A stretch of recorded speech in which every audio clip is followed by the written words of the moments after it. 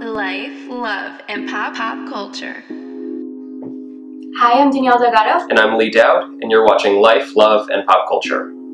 So you're in the web series I'm Fine, and it's in I its second season, so Yep. congrats on that. Thank you, thank you. Tell me a little bit about your role. Um, I play Jeff. Uh, the show is centered around Nate, um, and it kind of starts with him. In season one, it starts with him kind of coping with the breakup. Um, I play Nate's best friend, um, who you later learn in season one has feelings for Nate. Um, there's a little bit of a rift that happens between the two, and then that's kind of how we find ourselves in season two. Mhm. uh, at odds, um, not speaking, um, and that's kind of our, our tension and our drama for season two. Mhm. Um, we end the season on a good note. Spoiler alert, sorry. Um, but yeah, the show itself is about just how um, we kind of interact with one another as people in the modern world with social media, with dating apps, um, and how uh, you know men specifically within the LGBTQ community in West Hollywood Mhm. uh, kind of form relationships and bonds with one another. So that's that's what we're exploring. Well, aside from that, you're also um, in K-Town Cowboys I am. and um, Ira, which you also produced, right? Yes. So tell me a little bit about these roles and how it felt being a producer and an actor. Uh, you know, being a producer and an actor is um, it's really hard. It's a, it's a lot of work and it's like a lot of switching hats throughout the day. Um, you know, I was on set for the couple projects I've produced. Um, I think now what are we at? Two two shorts, two features. Mhm. Um, being on set every single day um, as a producer is very time consuming and stressful. And then on the days that I'm also on camera and acting, kind of Yeah. having to switch that and drop into a character, um, it's crazy. But it's I'm also sure super, is. super fun. Like Yeah. that's the other thing is that that challenge is really, uh, it's really entertaining Mhm. and it's it's a really cool experience to be on both sides of the project Mm-hmm. and you know taking a project into post production after everything's been shot it's really tedious Mm-hmm. meticulous um, but i think also it gives me a different sense of pride Mhm. when the, the final product comes out ira's not fully done yet Yeah. um, ira's still kind of finishing post production it's been in post for a while there's a lot of uh, special effects they've been trying to add to it Mhm. um, but I got to work with uh, an amazing actress who I'm not allowed announce. We haven't actually announced. I know. I know. I, I've never been allowed to announce who is actually the star of our movie. Mhm. Um, and their, her team is, is asking us to, to not release it until the film is actually finished. Oh. Um, so that was that was a really fun and crazy experience uh, on the production side. Um, and then K Town Cowboys is uh, is one of my favorite projects I've ever done. To it actually looks be, really funny. it's hysterical. it's so good, and to have worked with uh, executive produce, uh, producer Ken Jeong um, on this project, and just to be with Asian American actors and filmmakers was uh, it was so cool. so we have to talk about your piece for the Advocate. Tell Okay. me how important it was for you to share your story.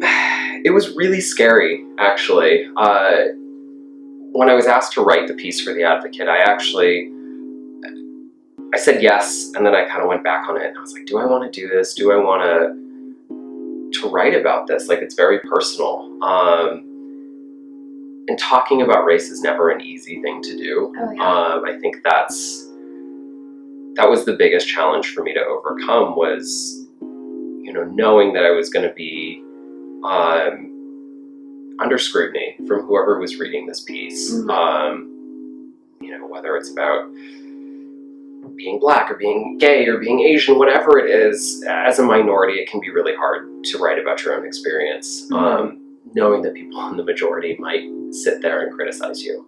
Um, I'm really, really happy that I did it. I think it was uh, an amazing experience. It was cathartic.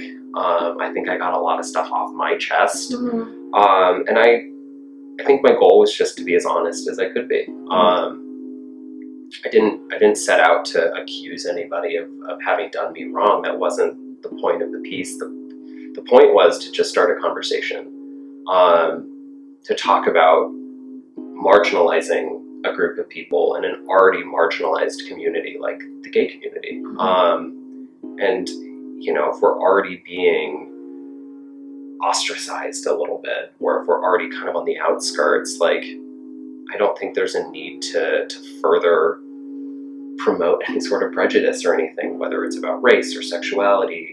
Um, and so, you know, my piece, I wrote about my experience as a mixed race Asian American in the gay community. Mhm. Um, but I think my goal was to really kind of transcend race itself and just talk about, uh, you know, the power of our own words on, on social media and dating apps, whatever it is. Um, I wanted to just put the message out there that, you know, I think that people need to be a little more careful about what they're saying and what they're writing because, you know, whether it's taken out of context or whatever, there are some kind of crazy things out there on the internet. um, but yeah, it's uh, it was an amazing experience, and the response that I received uh, was really moving and really humbling. I I didn't really expect um, as much positive response as I got, which definitely outweighed, uh, you know, a few of the, the fun negative responses that I received. You've done so many amazing things in Thank the you. last 10 years as an actor, but what do you want your fans to remember you for the most? My honesty. um, I don't know. I think the proudest thing at the moment for me is is this piece for the Advocate. I think um, if I can be a voice for the minority, if I can be a representative um, for these communities, the gay community, the Asian American community, uh, the mixed race community. Um, that's how I want to be remembered. I want to be remembered as somebody who uh, fought for the little guy, who, who stood up against um, against the norm, and you know pushed pushed to be seen, pushed to be heard. Um, so I think that's really important. I think that's the only way things will change in, in society.